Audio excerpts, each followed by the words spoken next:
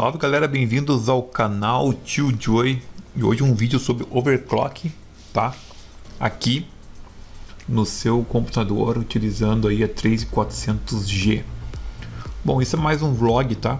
Então quero falar um pouco sobre isso, sobre minha experiência com overclock, se vale a pena fazer ou não, etc. Primeiro, antes de qualquer coisa, eu queria abrir o meu CPU Z que é essa versão aqui da S-Rock, que é muito legal.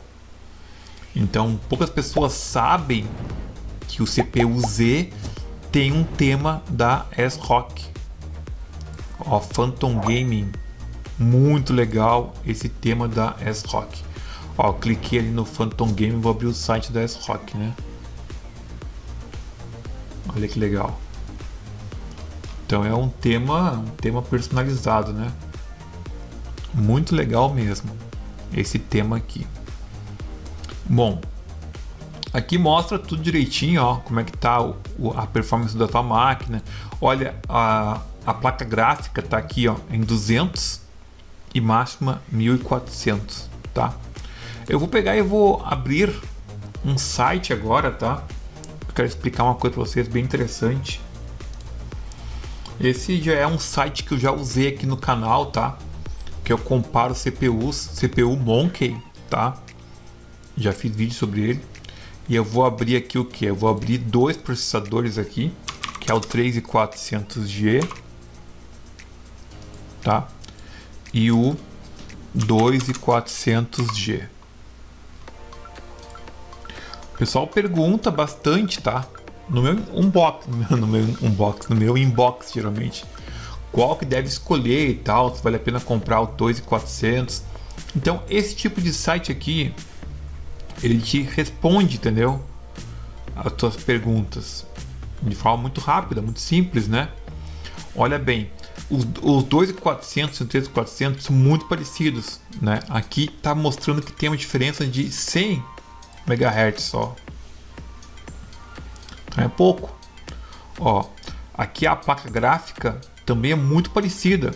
Notem, ó, 1.4 que é o 1400 MHz, né, contra 1.250, tá? Certo aqui, ó, memória 2 GB diz que é o máximo, não é o máximo, tem que aumentar isso. Isso é uma coisa que depende da placa mãe, tá? Então uma coisa dependendo. Aqui logo abaixo a gente tem outros diferenciais, ó. Notem que a memória que ele compartilha é 2900 com D3, mais uma coisa em comum. A voltagem também é parecida. Ó, tecnologia já mudou, ó. Essa mudança aqui já dá outro resultado, entendeu?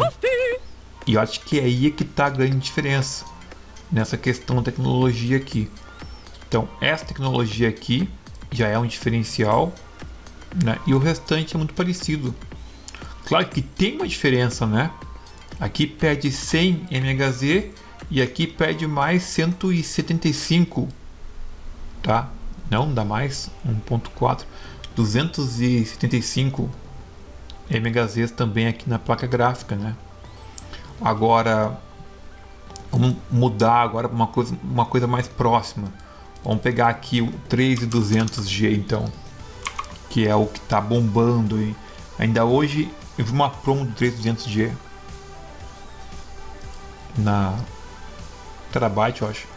Ó, como é parecido. Ele é, é uma cópia escarrada, tá? Lá do do 3400. Só que aqui, ó, essas unidades aqui é 11 contra 3, entendeu? Aí já muda, né? A voltagem é a mesma, né? a tecnologia aqui é a mesma, mas daí já, já baixa as frequências ali, né? Aqui, essa questão aqui, ó, shaders, shadows, diminui, diminui aqui, tá? E mais uma, só para concluir aqui as, as comparações, eu vou pegar aqui o Gold é, 54 vou colocar aqui Pentium, que daí eu colocando Pentium eu lembro qual é. Não, não vou lembrar qual é. é de 3.8 que eu fiz a unboxing no canal aqui. É de 3.8, é Pentium G, é um G, tá? 5.4 se não me engano. Vamos ver se a gente acha aqui. 44, 45, não tô achando o 5.4.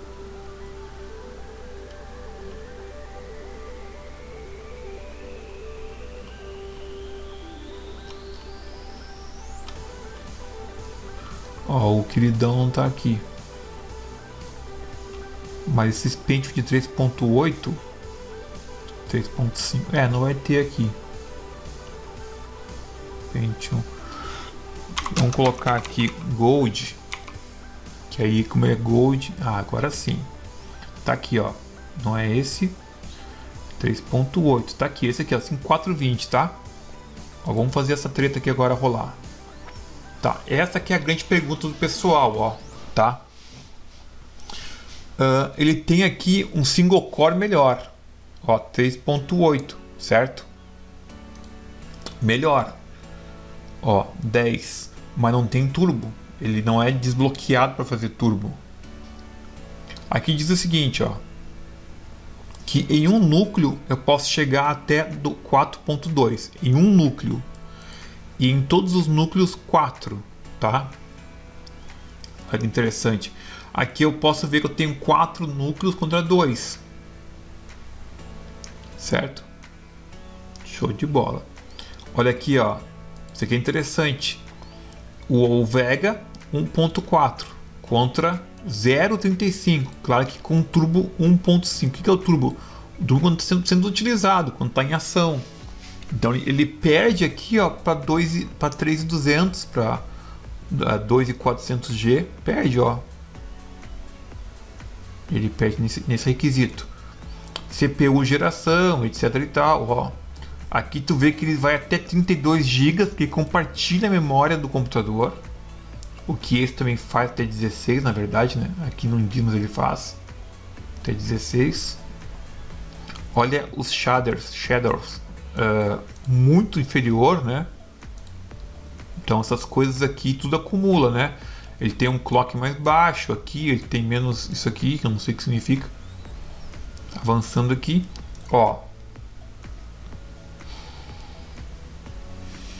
PC Express LANIS, não sei, 12 contra 16. Voltagem, ele ganha em 10 volts, que é muito bom isso. Tá, aqui está o socket dele. E é isso aí. Né? Logo abaixo a gente tem mais algumas, algumas comparações, os comparativos, né? Esse tá zerado não vale, tá? Zerado não vale, porque não fizeram o teste no site aqui. Mas ó, os que tem valor, a gente vê que ele está perdendo aqui, ó, em 7% no Cinebank, perde em 7. Aqui no multicore, claro, tem poucos núcleos, né? Ele perde aqui de 45 a 100 Ó, Single Precision, não sei o que significa, mas deve ter alguma coisa a ver com a GPU, né? Ele já leva uma surra, então por isso que o Intel Pentium Gold eu indico para quem quer fazer uh, trabalhar ele com forma é, para empresa, entendeu? É um computador empresarial que eu montei lá, ele saía muito bem com programas de texto e coisa, mas para games já não tem aquele mesmo desempenho. Ó, outro CPU Mark, ó. Mesma coisa. Ó, tá 100% contra 5.3, metade, entendeu? Então essas são as tretas aí que acontecem.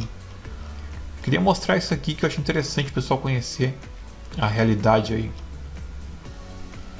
Então tu pega hoje um, tu pega hoje um, eu vou voltar para aquela, para aquela aquele comparativo que eu fiz antes ali do 3200, porque eu não mostrei aqui embaixo a performance, ó, 3200, perde 3400, tá? Aqui também, mas ele, ele já perde aqui 5% só, 5% Cinebank. Esse aqui multicore perdeu por mais, porque o 3200 tem 4 núcleos só. Tá, não falei isso antes, mas 4, 4 threads, 4 threads, 4 núcleos e 4 threads. Então no multi ele não ganha, não adianta. Single core, muito perto, né? Multicore, perde de novo. É aquele ping-pong de multicore e single core, né? Single core fica perto, multicore perde, aquela coisa, né? Olha aí, ó, 20% a menos os resultados. Então tem uma boa diferença, mas não muito. Para o preço ser o dobro, né? Praticamente de um e outro. Tá, beleza? Vamos voltar para a área de trabalho. Então o que acontece aqui? Aqui tô com ele. Eu tenho mais um programinha aqui, ó, que é o MSI Afterburner. Eu vou falar sobre ele num vídeo separado, tá? Quero falar sobre ele. Deixa eu só mostrar aqui para vocês. Ó, essa aqui é o layout novo dele, tá? Uh, padrão dessa versão beta que é mais recente. É muito comum o pessoal ver aí na internet esse programa com outras caras. Deixa eu abrir aqui. A interface vem diferente, ó. Alguma coisa nessa vibe aqui, ó. Tá? Alguma coisa nessa vibe aqui. É o que aparece. Geralmente. Tá? Então troquei. Ele é bom de monitorar aqui, ó, né? Eu também uso ele para fazer uh, ativar os, os FPS lá no game, tá? Entro aqui, ó. Aí eu coloco aqui, ó, o que eu, o que eu quero na tela, que é GPU, a VRAM. Eu coloco pouquíssimas coisas na tela quando estou gravando gameplay. O uso da CPU, os, os quadros e tal. Vou deixar ele aqui, quero mostrar outra coisa com ele. E tem um outro carinha, não, fechar por enquanto, que é o AMD Ryzen Master. Esse aqui é o programa que faz overclock, tá? Esse programa aqui não é para amador, tá? Tem que tomar muito cuidado na hora de usar ele. Eu mesmo eu segui tutorial na internet para poder configurar ao meu gosto. E eu usei aí umas dicas do professor Ramos aqui do YouTube também. Cara é bruxão, segui lá o que ele mostrou, tudo de boa, tá? Bom, lembrando que aqui dizia o seguinte, ó, que eu posso ativar o turbo em um núcleo, o 3200, ó, trocou de lugar. Eu posso colocar em um núcleo até 4.2, tá? Em todos 4, tá? O que eu vou fazer aqui é o seguinte, eu não vou aumentar só um núcleo não. Vou colocar em todos eles 4 aqui, tá? Lembrando que é uma série de configurações. Então tem que tomar alguns cuidados aqui. Antes de prosseguir, ó, gráfico 200, máxima uh, ah, 1400, tá? Aqui. CPU tá aqui 3,100, tá dançando aqui nos, nos 3 e pouquinho. Mas vai até 3.7 aqui, né? 3, tá parado, então tá mais fraquinho aqui. Eu vou, acho que vou estressar ele para vocês verem. Vou dar uma estressadinha de leve aqui, ó. Estressar a CPU. Aí eu consigo consigo ver ó 2200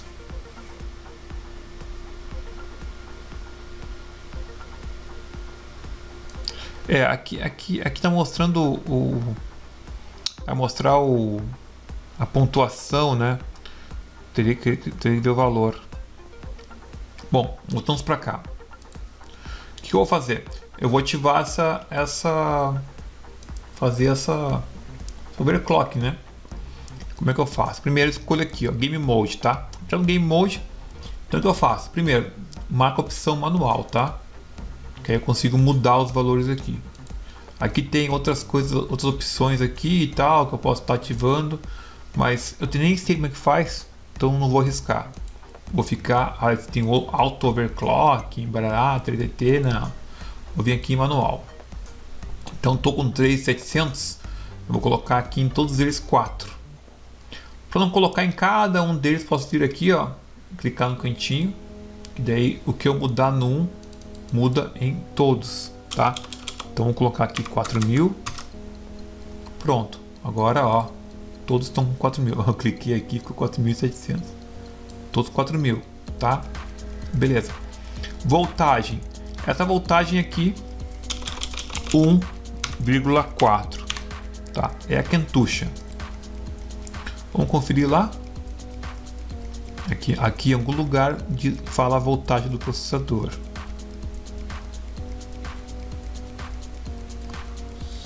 Tá. É...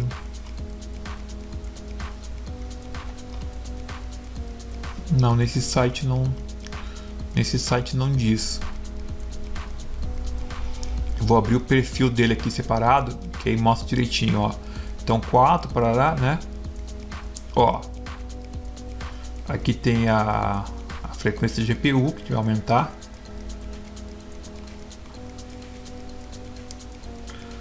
DDR4, barará, 45. Ó, vai fica entre 45 e 64. 95. Ó, a máxima de temperatura, ó, quem não sabe, 95.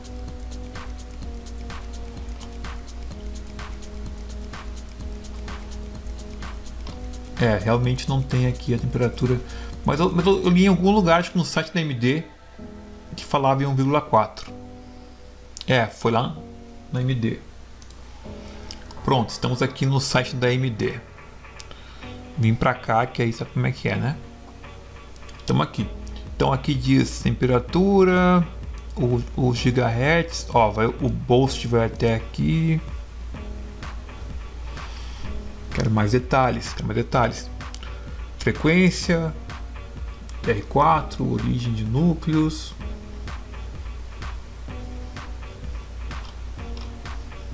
Memória, parará. que beleza, né? Aqui não fala também. Mas não tem erro. Onta calipau. É 1,4, pode confiar. Aqui embaixo a GPU. Olha que legal. Aqui fala 200, né?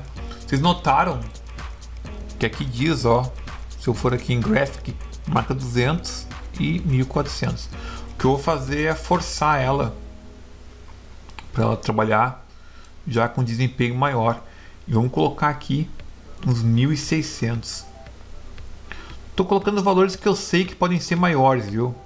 O pessoal está colocando em todos os núcleos 400 e colocando aqui 1700. Eu já fiz isso cagada, tá? Fui jogar o Crisis e crashou. Então não funciona, não rola. Colocar todos em 400, então 4 e 1600 e aqui você aumenta a voltagem para 1.2. 1.2 redondo assim, tá? Se fosse 1700, 1.25 dá para colocar. 1.2 1600, tá?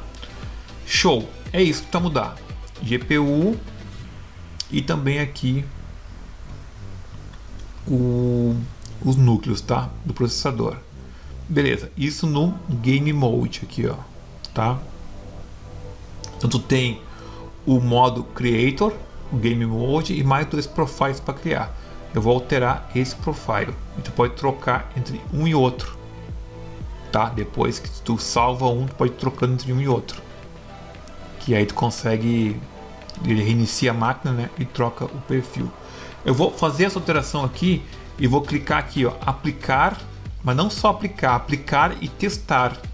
Que o próprio AMD Ryzen vai testar. E se eu sumir agora é porque travou tudo. tá? Vamos fazer. Olha, colou todos eles aqui, ó, em quatro praticamente, ó. Olha que bacana. Colou tudo em quatro. Aqui em cima, uh, esses que estão ficando laranja, ó, é que estão ficando no limite de alguma coisa. Tá, mas está dentro, dentro do limite ainda. Todos eles, ó. Está usando 13% aqui da, disso, disso aqui, enfim. Pronto. O teste é curto, ele foi até o final e não deu nenhum problema, tá? Show de bola, fiquei bem satisfeito com o resultado, tá? Então posso clicar em aplicar aqui e fechar. Aqui, ó, olha que já mudou aqui, ó, que beleza, ó. Já temos aqui 1600 MHz. Já é um up, né? Porque vai rodar tudo já 1600 no talo. Muito interessante. Aqui na primeira opção, CPU, ó, 3986, tá encostadinho no, no 4 também. Tá encostadinho aqui. Vamos reabrir aqui o MSI. Que o MSI é legal. Ó, 1600. E memória RAM 2 e 2800 ficou. Isso aqui sempre é em dobro, né? Olha que interessante, muito legal mesmo. Só para concluir esse vídeo, eu quero fazer agora um testezinho de bank aqui. Todo a pessoa que faz aí o entusiasta de overclocking, overclocking, gosta de um benchmark. Vai fazer o bank para ver como é que ficou, né? Desempenho, isso é importante. Então vou clicar aqui em bank